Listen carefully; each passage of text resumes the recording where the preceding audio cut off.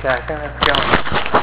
Alright, well, um, a little bit about me to get started. My name is John Perritt.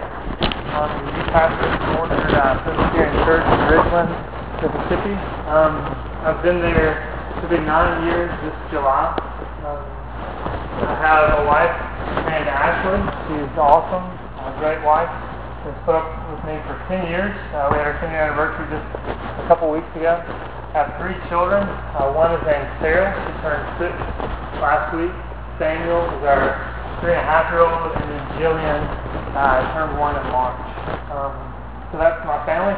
I guess I need to thank RYM uh, for asking me to teach this elective, uh, for entrusting this uh, to me. Uh, similar to what Stacy Cross said, I feel honored uh, to be able to, to teach this class.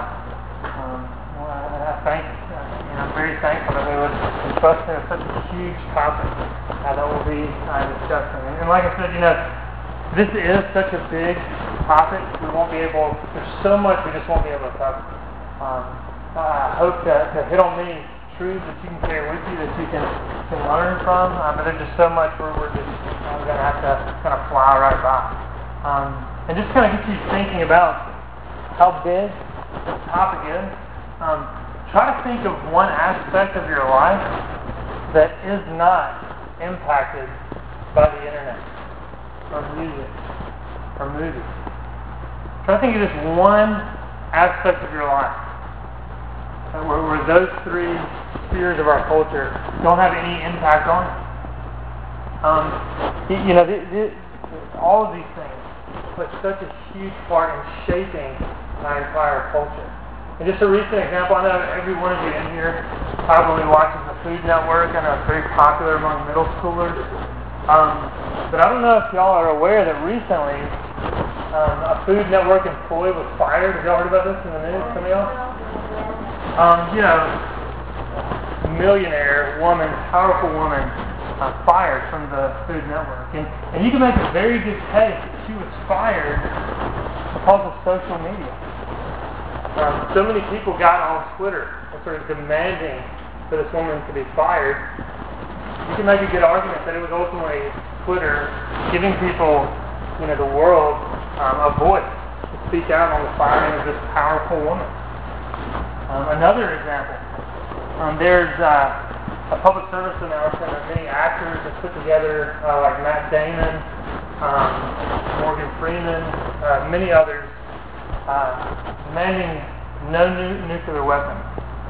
Um, so you have actors in movies basically thinking they have more power than the President of the United States, telling him to get rid of nuclear weapons.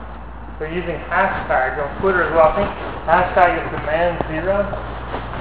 So again, we have actors now that are seemingly just as powerful as the President of the United States of America, telling him you know, what policies to enforce. Um, so again, those are just two small examples of how how much the internet, how much music, how much movies shape the culture that we're in. Um, so kind of an overview for the week. Um, I would encourage you, uh, I hope you brought your Bibles. Um, I would encourage you to take notes. I know some of y'all probably stayed up a little too late last night. Some of y'all are probably kind of tired.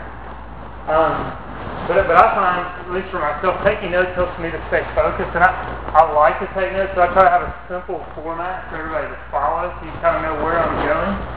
Um, and so the overview for the week, the first point we'll have every day. We'll have a theological foundation that we're looking at. That'll be our first point. What's a foundation? Somebody tell me. Okay, solid ground for the study to be built upon. We have a foundation of the building that's ultimately holding everything up. And so we'll have a theological foundation that the entire lecture will kind of be built off of each day. And I'll have one theological foundation, like today we're going to be looking at the internet. Um, tomorrow we'll be looking at music, and then the last day we'll be looking at, at movies. Um, but a theological foundation today that's applied to the internet, but it's easily applicable to music and to movies. We'll be, focused on the internet today. So I have a theological foundation first. Then we'll have, whoops, going backwards, sorry. Then we'll have the good, the bad, and then the solution. So that's our basic outline for today. And the good, the bad, and the solution is basically just another way to say creation, fall, redemption. And some of y'all may be familiar with that pattern in Scripture. You know, we have creation in the beginning, Genesis 1 and 2. Everything is good, everything's perfect. And sin comes along, that's the bad. Tarnishes the good creation. And the solution redemption. We had Jesus Christ came, he inaugurated his kingdom when he came first. And he'll fully consummate his kingdom upon his return. Um, so the good is basically, you know, looking at the fact that even though sin is in this world, God's fingerprints are still in His creation. But there are good aspects to the internet. There are good aspects to music and to movies that we can glean. But at the same time, there is bad. There, there's plenty of evil in these things. And I think typically those are kind of the easier things to focus on. Just the bad and. And then we'll look at the solution. It's taking the good in light of the bad and how we can interact with that as Christians. Because Pharisees, legalists, wanted to throw these things away. You know, the internet's bad, let's just not deal with it. Music has, you know, bad lyrics, let's just not deal with it. Let's just abstain from movies completely because there's so much evil. But we as Christians, part of our sanctification is figuring out how can we interact with these things in a way that, that honors God. And so again, that, that's our basic format for the week. Uh, if we have time, we, we might have some questions at the end. Um, if we run out of time, probably the, the better way to do this is just take a sheet of paper, you know, from your notebook, um, jot a question down if you don't want to ask it in front of everybody. You can bring it up to me afterwards, and I might be able to answer it the, following day. Um, that'll give me time to think up an answer, or just throw your question away not know if it's too smart for me. Um, that's our basic uh, overview um, for the entire week. So today, like I said, we're going to look at the internet, and, and we're not just simply looking at the internet.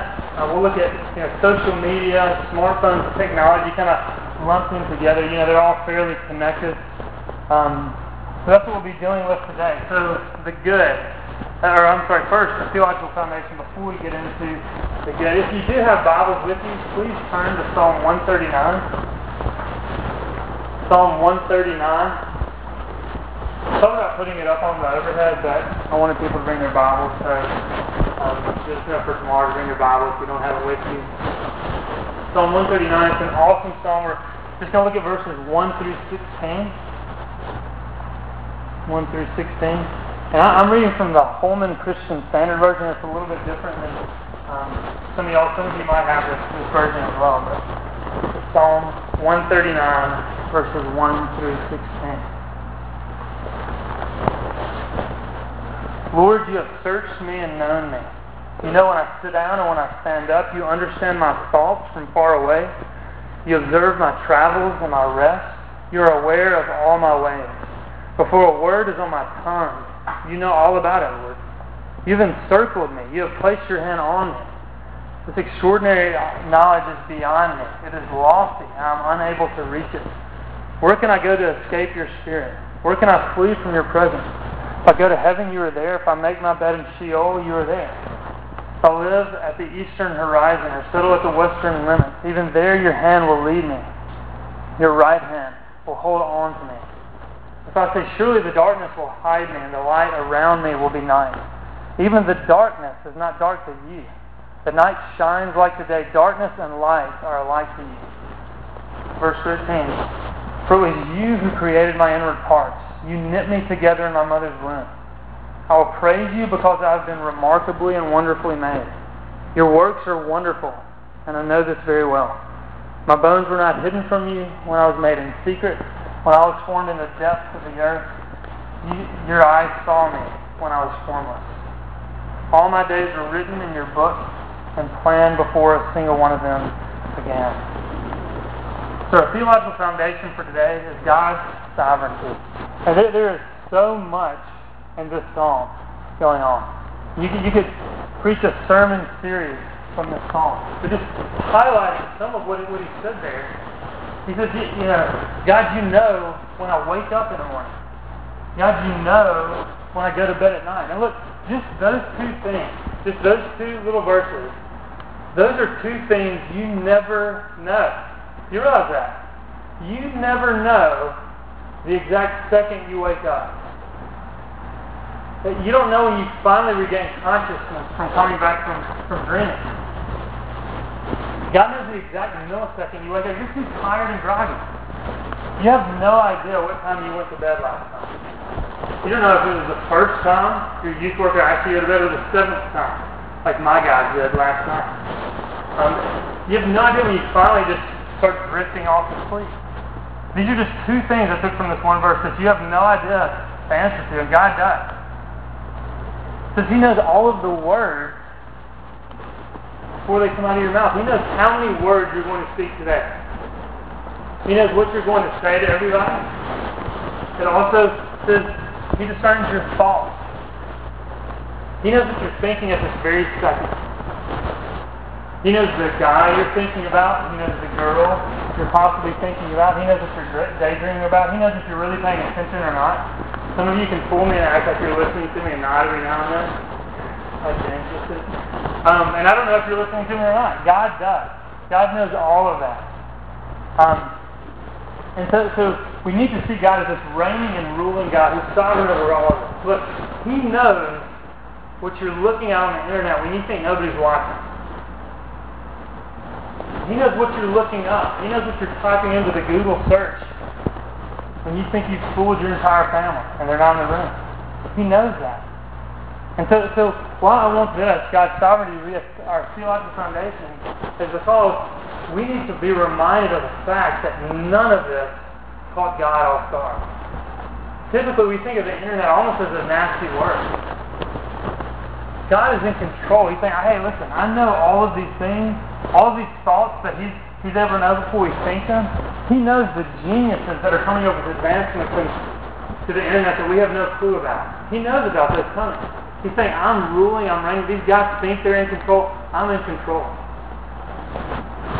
We need to know that none of this calls God off guard. And, you know, like I said, I was talking about my family. I have three children. Um, something we do on Sunday, typically we, we call Sunday the Lord's Day. Um, one of our uh, senior professors said this it's interesting when we call it the Lord's Day, how, how different we treat that day. Um, so we try to we call it the Lord's Day. Uh, first off, also my, my children, they have sugary cereal on the Lord's Day. They get very excited, they get Cocoa Pops or Trix or, or whatever because it's a celebration. You know, every every Lord's Day we're celebrating Christ's birth, His death, His resurrection. And so it's a celebration, and we have a lot of dessert too on that day as well. And so as my children are eating dessert, we typically go through the children's catechism, and so we, we you know, ask the question some of you are familiar with. Who made you? Come on, easy answer. Oh, God. There you go. What else did God make? Why did God make you in all things? All right, now applying that to the internet. Who made the internet? Why did God make the internet? For His own glory. Look, what you must see and know is that while the internet has many evils, while there are many sickening things on the internet. God made it. And God made it to display His glory. There's good in it. So as Christians, we cannot hate technology. Listen, if you hate the internet, if you hate technology, that is questioning God's sovereignty. That's why this is a, a theological foundation. To just hate it, to dismiss it, would be questioning God's control over that. So we need to see it as, as a gift from God. Yes, we'll get into the cautions, and we can even say as Christians, there are things we can hate about the internet, like pornography. We can hate that. But there's still good things about it. And so, y'all tell me, I know there, there are a few people in here, but what are some good things about the internet? If somebody wants to raise their hand, shout them out. What are some good things? Alright, to find out what words mean, etymology of words, yes? Yeah, a Bible app, that's right.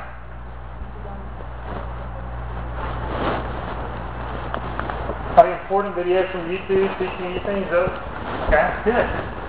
Yes. Okay, learning more about the world. I mean, think about I mean, Google Earth. I mean, that's so cool that you can see places of the world that you've never been able to visit and might never ever, ever be able to visit. Directions RYM. That's a big one, for sure. Last one. Okay, help you do a report, not plagiarize. That's right. But help you do a report. Very good. Careful choice of words. Um, all right, so let's do this picture here. Um, now, what's the first thing you do when you get up in the morning? Not going to the restroom. I know people would naturally kind of laugh and snicker, so I'm just going to go ahead and throw that one out there. Um, the first thing you do when you wake up, look, 90% of young people wake up with their smartphone in bed with them. Um, they often check Facebook, Instagram, surf the internet, listen, before they get out of bed or brush their teeth. It's the first thing most people do. Um, one third of young women check Facebook first thing in the morning. So, you know, why do these people check their smartphones? What, what are they looking for? We a text from friends, a like on Instagram and Facebook to you meaning in the morning. Um, now, look, there's much idolatry that's taking place there, and we'll get into that for sure. But we're looking at the good. So, what, what are these people trying to do? They're desiring community. They're desiring to, to be connected to other people. And, and why, why, you know, since we're looking at the good, what, what, what do we have to point to from Scripture to say this is a good thing? Genesis 1, 26 through 27. God is making us in His image in this section. It says, let us make man in our image, after our likeness. And you notice the, the words there, let us, plural, make man in our, plural, image, not images, image. So look, every one of you has been created in the image of God. We have God as three persons. So you were created in the image of a single God as three persons. So community is hardwired into you. It is in your DNA. There's no escaping it. And so getting up with your smartphone to check out Facebook, to check out Instagram, you're actually just affirming your theology about the Trinity. That you're created in the image of this triune God. I mean, in social media, that's the, the good thing about it. It helps us be connected and be in community in. I mean, think of a movie example, even though we're not on movies today. How many of you have seen Castaway? Raise your hand if you've seen that. I know some of you might not have. Even if you haven't seen it, um, yeah, Tom Hanks is stranded on the island alone. But is, is he alone on the island? There you go. He has this volleyball thing. Do y'all, do y'all know about this? The volleyball? What's the volleyball's name? Okay, what is he telling us there? That he needs to be in community. That a person will go insane if they don't have another human being to talk to. And so they make another human being out of a volleyball. And so from that movie, it's communicating a deep truth. I Am Legend is another movie they did from. And Will Smith is, you know, a lot of similarities there. He's stranded on an island as well, the island of Manhattan. And he creates all these mannequins, right, in a video store that he engages with and talks to. Because he needs another human being. And he even talks to his dog as well. And so we we're hardwired for community. We're hardwired for fellowship, and that's that's what this is telling us. You know, it helps us keep up with others. You know, social media does that.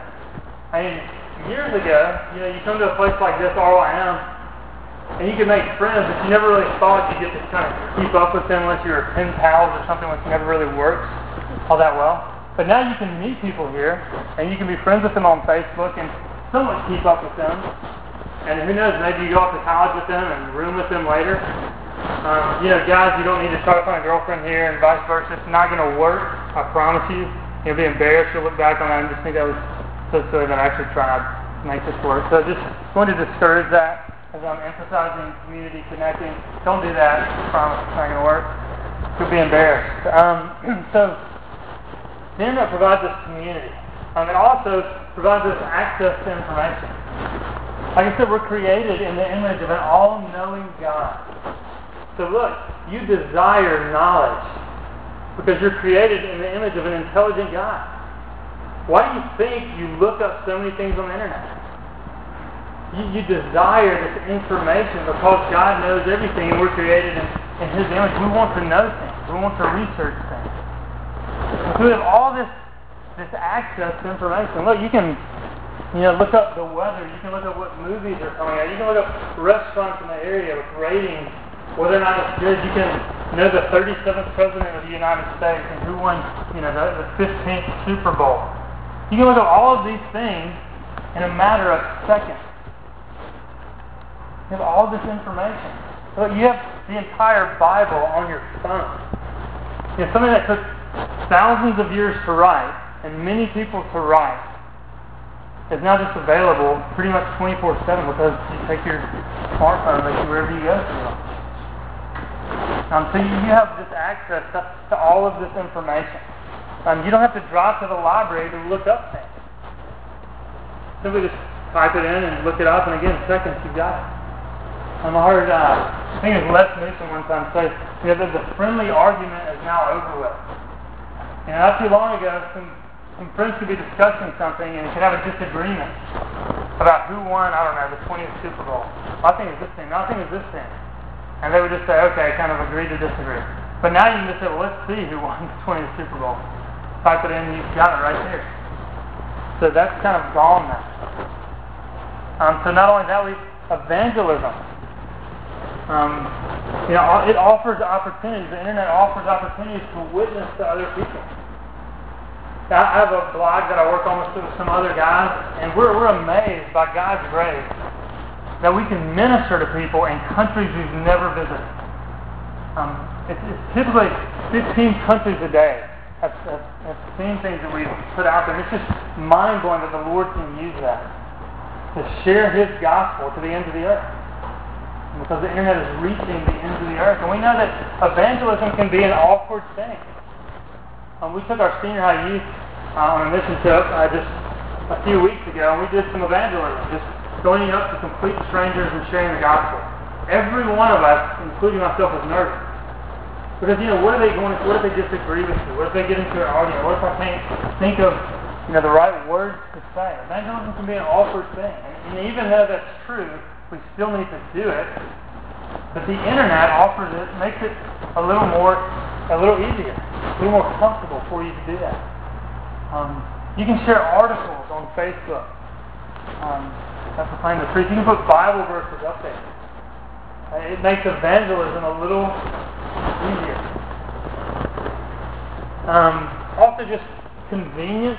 Um, the internet, you know, you don't have to leave your house to go shopping anymore. You don't have to leave your house to go rent movies. Um, they used to have a store called Blockbuster that we used to have to go to. It's such an inconvenience. And just, you know, go through all the, the different movies they have. But now you can just sit at your house and download a movie and watch it off iTunes or Amazon or whatever you want to do. And just along with this convenience, you know, there, there are six other electives that all around. Thank y'all for choosing this one. Glad to, to see y'all here, but you're missing out on some other electives. But when you go back home after this retreat, they'll put these up on the internet, and you can listen to all these other lectures that you missed out on. There are many convenient things that we have because of the internet, which is a blessing. Um, something, a topic I'll get into a little bit more when we talk about movies is, is the fact that we're sub-creators. You know, again, we're created in the image of God, and so we're we're created to be creators as well as sub-creators. Look, it gives us the opportunity to exercise, you know, creativity in our minds. Think about it. And we have people making movies now. Everybody's a director, right? You can make your own movie on YouTube. Uh, you can make television shows. You know, someone like I was talking about um, how it should have ended. Just seen any of those on, on YouTube where it's cartoons that kind of, you know, poke fun at movies that have been released, like Iron Man 3 and others, and they changed the ending. You know, we can all create these things. You can you know, go to use GarageBand and make music. So uh, that, that's, that's, that's a good thing that the internet allows us to exercise this creativity. Because we are called to cultivate creation. And the internet helps us to fulfill that. Now, let's look at the bad. Um, I was trying to think of what picture to put up there for the bad. Um, figured this bad baby might be kind of cute as we talk about something kind of sad. I think it's the hair that kind of makes that picture bring everything together. Um, and his bottom lip is pretty cute. what are some bad things about the internet? Somebody, so raise your hand and tell me a few things that are bad about the internet. You can go first. Yes, all kinds of bad things on the internet. Pornography.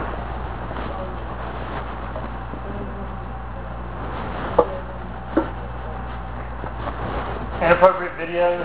Yeah. Um, you know, there, there's a a book called Sexual Detox by Tim Challies, which is a really good book dealing with pornography, and he he talks about the fact that you know now pornography comes looking for you.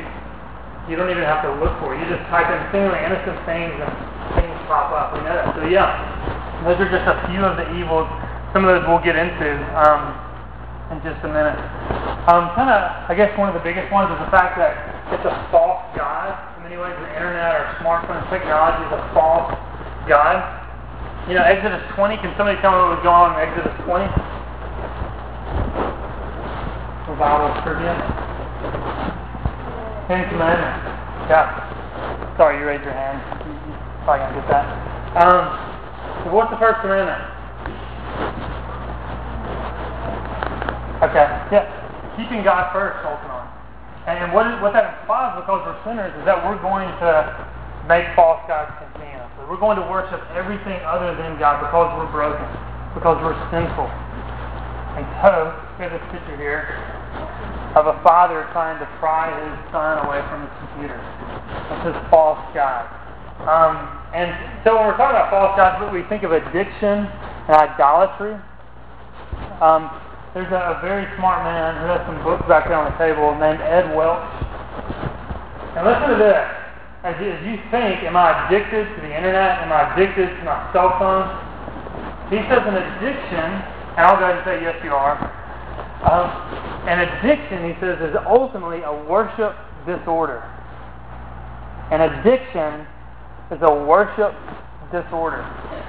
Look, you've been created to worship God, but because of your sin, you worship everything else.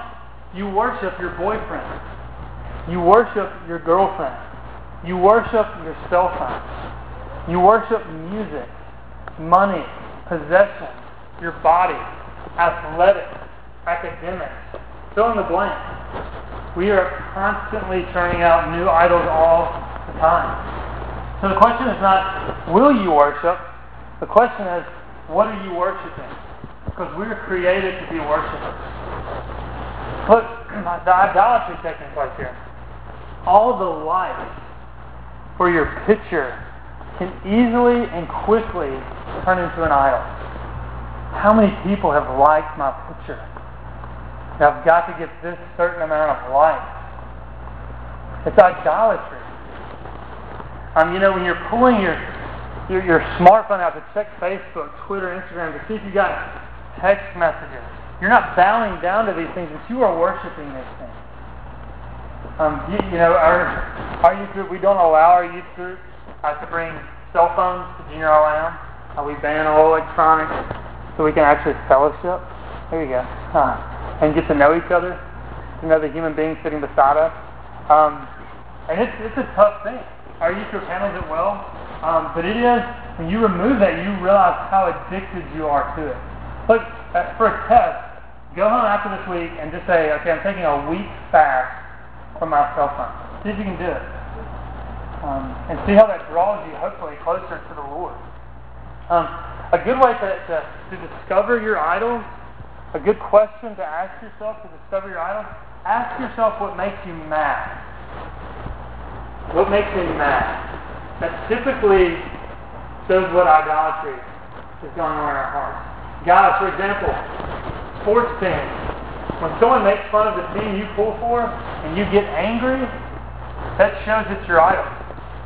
And I've seen guys red faced screaming at other guys when their sports team is being made fun of. That is your false God. I thought, man, if we can just get people that passionate about Jesus Christ, that would be awesome. So that's our false God. Girls, maybe it's the fact that another girl is getting attention from another guy. That makes you mad. Because you want that guy to worship you instead of her.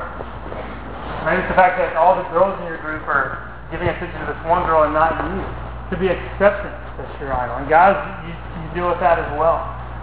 But all of you, oftentimes that's why you get mad when somebody tries to take your cell phone from you.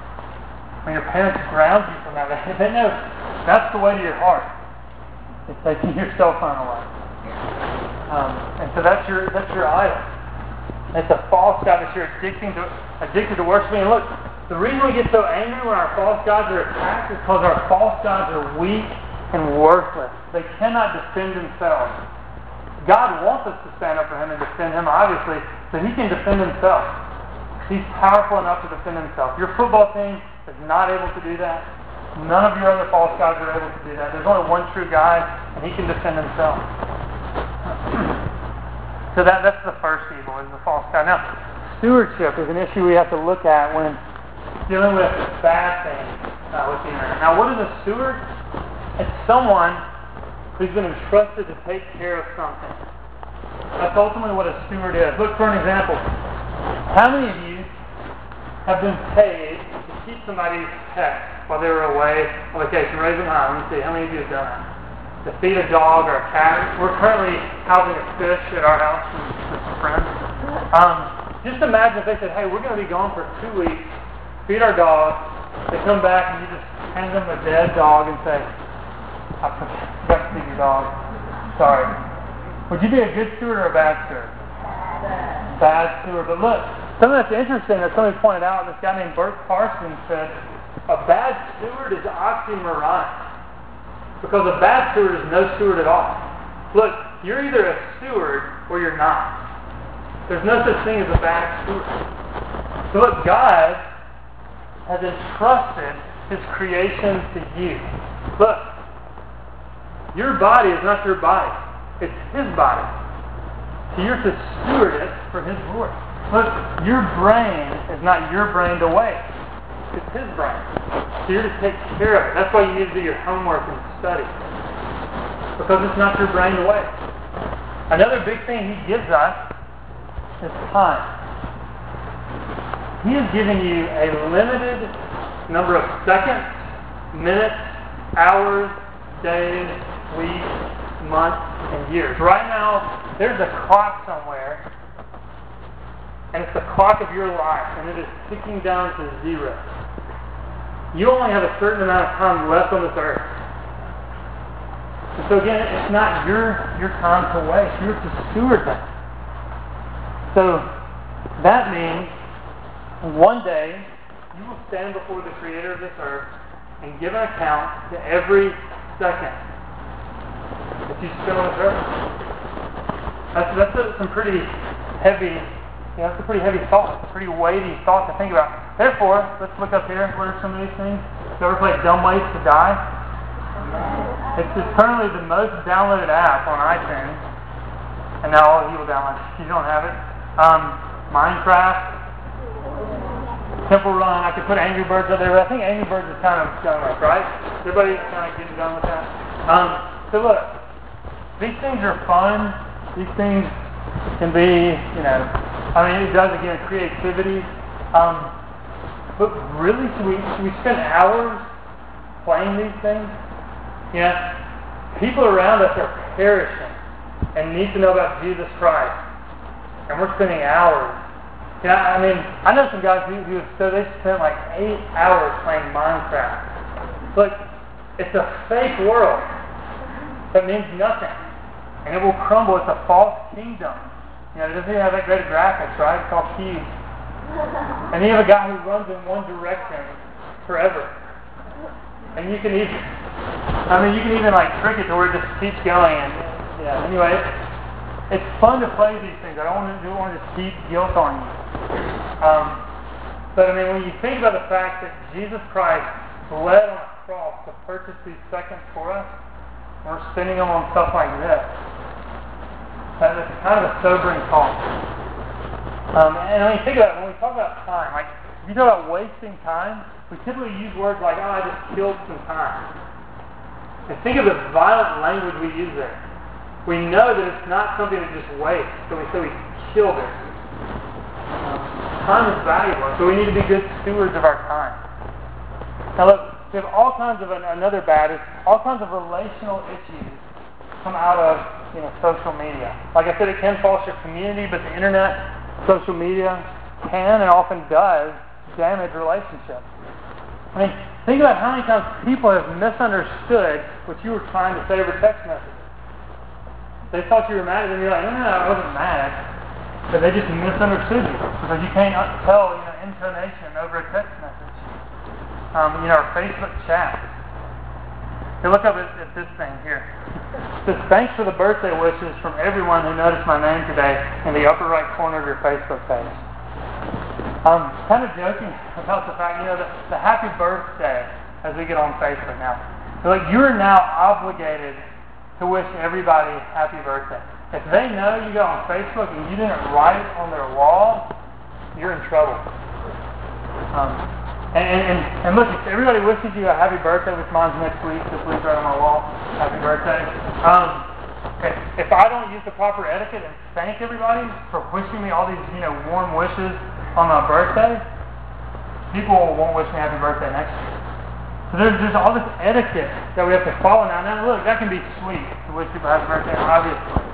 Um, but we know, without a doubt, people can get frustrated at that, and it has happened. It's called issues. You know, if people, if you follow people on Twitter, Instagram, and they don't follow you back, you get frustrated. You text somebody and they don't text you back like within two seconds, you know, what's going on? How are they mad at me? Why didn't they text me back? I can't believe that.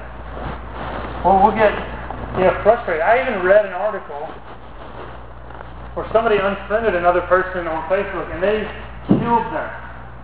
They killed them. That's insane. Um, that really happened. And there's just something about face-to-face contact that is necessary for human relationships. We were created to look at someone in the eyes and talk to them.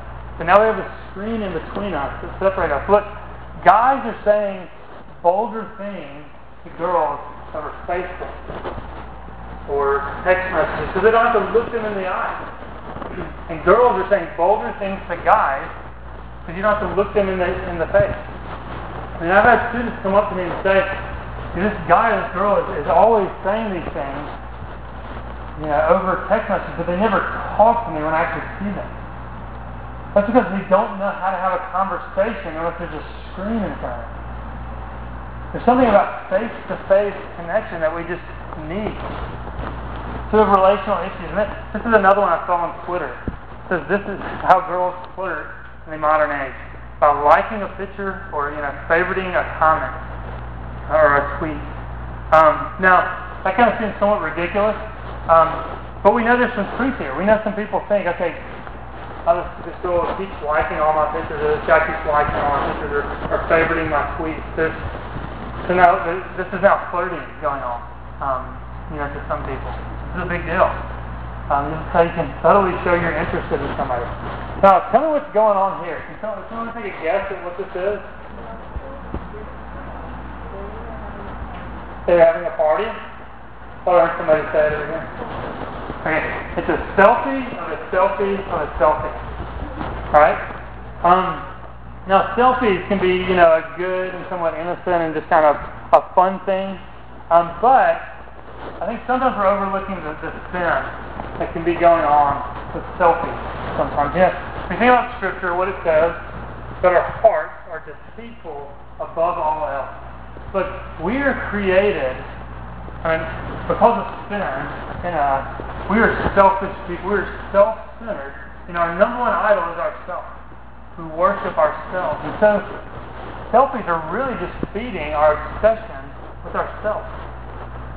Um, I mean, I know you've seen it on, on Facebook, on Instagram, hundreds of pictures of this person basically making the same face over and over again, but a slight variation of their self.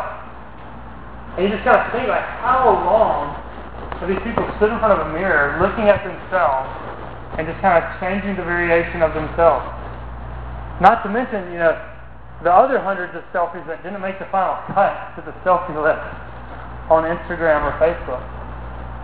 Um, this is something we, we need to think about because we are naturally selfish. Just examine your heart on that. I'm not saying stop making selfies, stop, stop taking selfies. Um, but, but kind of question your heart on that. Am I being too self-focused? Am I feeding my obsession with myself? And, and again, just keep in mind Scripture saying your heart is deceitful. Above all, it will deceive you. So be cautious. So feeds our selfishness. Um, now, sexual sin, this is kind of the, the obvious one that, that got brought up. Um, we, we typically think of pornography when we think of sexual sin, you know, on, on the internet, and just kind of a sobering word, you know. We, we, it's everywhere. Um, yeah, it is a poison. I've lived long enough to see older men, you know, telling other men it has almost destroyed their marriage. You know, I know women who want to divorce their husbands because of this issue. Because what it is is adultery, ultimately.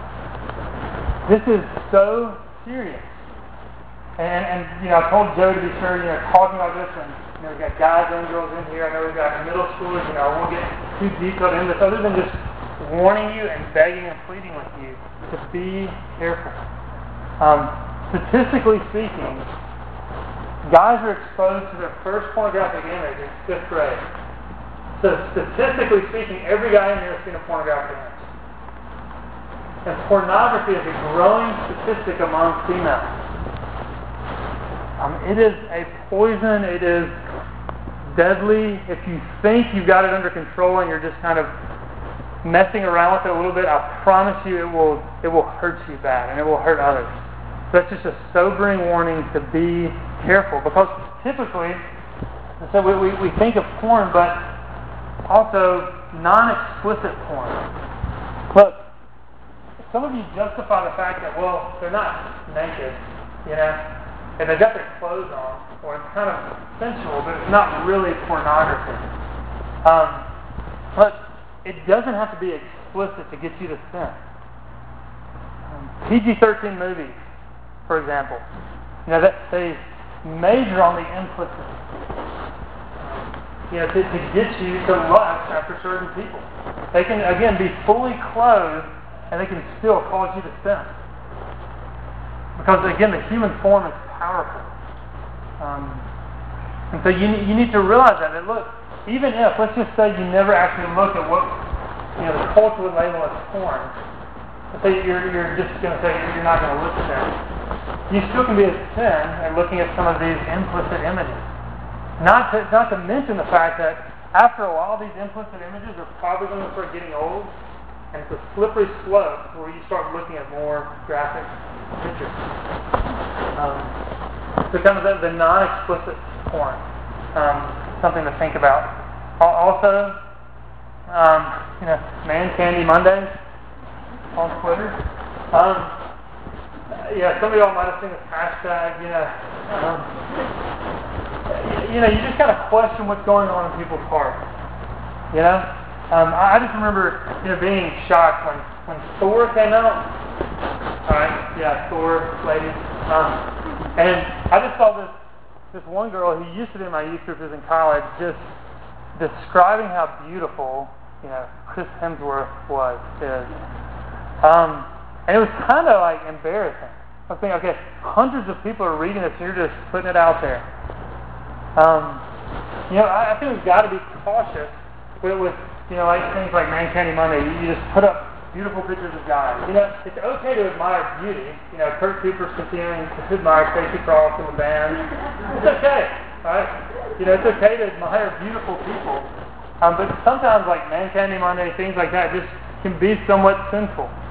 Um, and again, our hearts are deceitful, so we need to be cautious on these things. You know, I put something here, online flirting.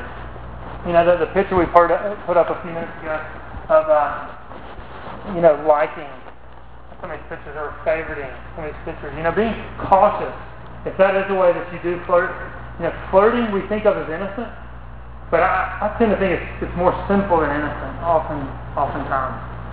Um, you know, I mean, just just think about what's going on sometimes. You, you know, don't just imagine a scenario where you're in a restaurant and a guy is just sitting in a chair across the room from you staring at you for 10 minutes. Is that weird? Yes. Well, that's what's going on with your Instagram and Facebook. Guys that you don't even know are just staring at you, maybe 10 minutes, maybe 30 minutes, just looking at pictures of you. That's kind of weird, right? But we just put those pictures out there for everybody to see. See, once you remove the screen, and it happens in real life, it's weird. but when you put the screen there, it's not awkward, right? And so we're, we're kind of cultivating these, these thoughts in our minds that aren't all that awkward that should be awkward and strange. Um, now, you know, we've got our profile here. That's not my, my name is John, but that's John Appleseed. I just Googled that. Um, from, from Twitter. Um, there's something that's false mediator. Um, now, now, what is a mediator? It's something that stands between us and somebody else. You know, Christ is our mediator. He's perfectly righteous. We're sinful. He stands between us and God. Therefore, God sees us as righteous because He's standing in between us. Look, take Facebook, for example. You put pictures of yourself on Facebook that you want people to see. You, you like certain things on Facebook that will make you, you know, look cool. You, you, you know, follow certain pages. You listen to certain music that, that is cool and acceptable, or the movies that are cool. You know, you follow things that other people follow, or you know, the reverse is true. You try to follow the things nobody else follows, and like the bands nobody else follows, so you can be unique and cool, just like everybody else. Um, the same is true on Instagram and on Tumblr and on Feed and Vine and every. But your social media is your mediator. It's standing between you and the other person. That is, you know, you know, one of your friends starts following you on Instagram. They're not literally following you. I mean, just imagine you walking around and 20 people are following you. That's weird, and they'd get arrested, obviously. So they're not literally following you; they're following your false, you know, mediator, the, the image that you've created. And so the, the, the popularity of social media, the fact that millions of people, I mean everybody, the celebrities, everybody is on Instagram, Twitter. It shows that every human being realizes they need to be recreated. And we're always trying to recreate ourselves. We're trying to make this image that we want other people to see. Um, because we are, we are each each one of us is broken. We ultimately need to be recreated to Jesus Christ through His image.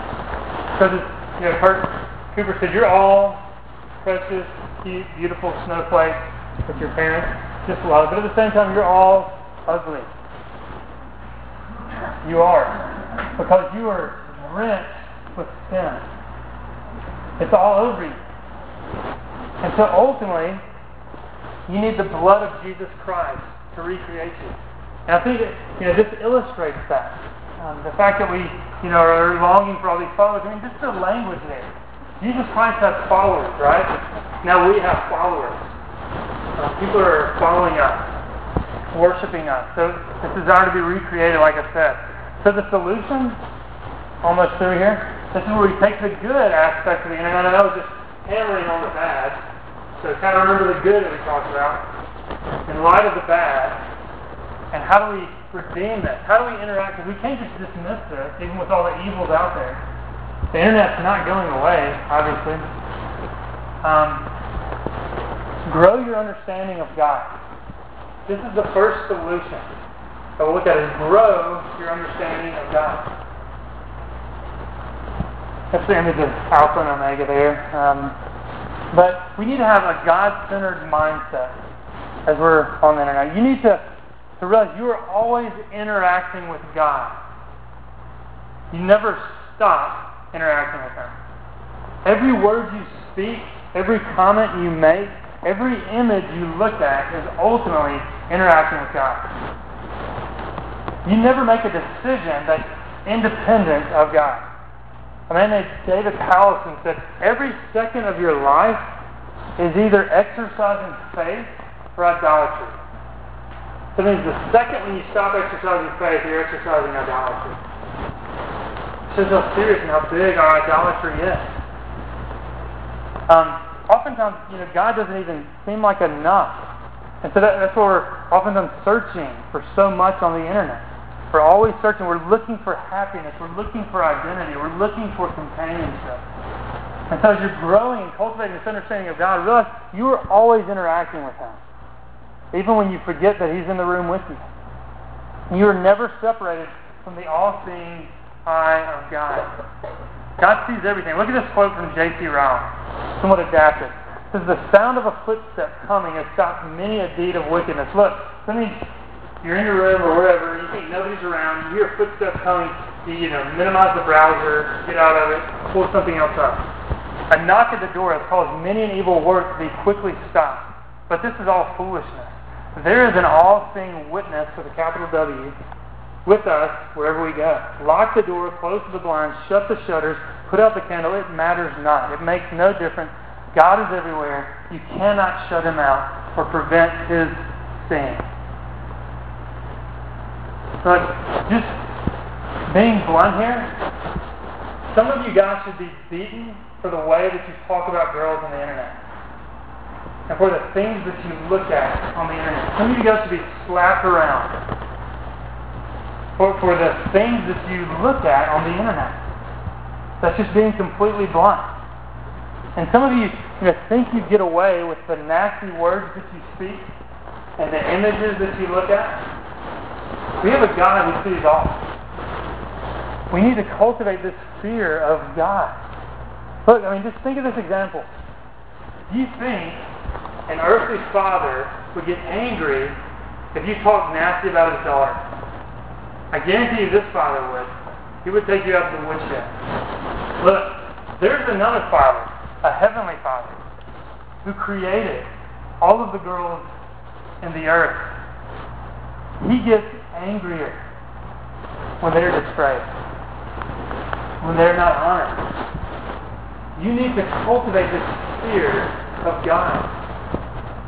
Um, you, you know, I mean, Proverbs 1 7 says, The fear of the Lord is the beginning of knowledge. Look, he, he sees every post, everything you look at, every thought that comes into your mind. And look, in His Word explicitly tells us He has the power to throw people into hell. The question isn't, you know, why should we fear God? The question is, why don't we fear Him more? We can't hide from Him. And the fact that God hates sin. You know, sometimes we minimize that. You know, God absolutely hates sin. But the, for the way, I mean, we know this, we can say this, we know this is true, but the way that we live on the internet seems to forget that sometimes. The, the words that we just kind of throw out there seem to, to forget that. You, you know, many of us don't even think about the fact that, that God's in the room with us as we're looking at these things or saying these things. So again, the way you interact with the internet communicates something about your relationship with God. Look, if you're so concerned with your image on Facebook, if you're so concerned with how many people are following you, or how many likes you're getting, it communicates something about God. It communicates that He isn't all you truly need. You may say He's your Savior. You may say He's all that you truly need. But, but again, oftentimes our, our behavior on the internet is, is communicating the exact opposite. It communicates that our identity isn't secure in Him, and it is. We need to rest in that. You don't need to try to recreate yourself. Jesus Christ has already done that for you. He has redeemed you. He took on flesh into this earth, lived a perfect life, died a perfect death. So now you don't have to do that. So when God sees you, He loves you. He that you're His. And you don't have to try to earn His favor. It's accomplished. It's done. And so as we're looking at the solution, and I'm closing here, as we're, we're growing our understanding of God, pray. Pray that you'll know Him. Ask that you will know Him, that you'll want to know Him more. I mean, you, you can't know Him completely this side of heaven. Pray that you'll want to know Him more. Pray that you'll want to to love Him more and to fear Him more. Look, again, if you were His child, He loves you because you are covered in the blood of Jesus Christ. But, but some of you here might not know Him as your Lord and Savior. And so all of these, you know, we talked about the bad. I know it's a sobering thing because it's such a part of our lives. But I hope it you. I hope it does. Because, again, we have a holy God who hates sin. And if you don't know Jesus Christ, you are not covered in His blood. You're in danger. You know, talk to your youth workers. Um, talk to somebody. If you're not sure about that, talk to me. Talk to anybody. Um, because this is a sobering reality. Um, so again, I know this is a lot taken in a short amount of time. We're out of time. We've got to end kind of abruptly. If you have any questions, you know, write them down. You can turn them to me. Let me close this out in prayer. Heavenly Father, we thank you for the time that we've had together, Lord. Uh, I pray, Lord, that um, It's encouraging to be reminded that you are sovereign, as we looked at in the beginning, that you're over all of this, Lord, there is good in the internet just as there is evil. Lord, give us the wisdom uh, to know how to interact. Lord, help us to grow our understanding of you. Help us to love you more, to know you more, to fear you like we should. Uh, thank you so much that, that you didn't leave us to ourselves to do this all on, your, on our own. That you humbled yourself and came to this earth and saved us from our sins. In Jesus Christ. Amen. Uh, thank you all for coming.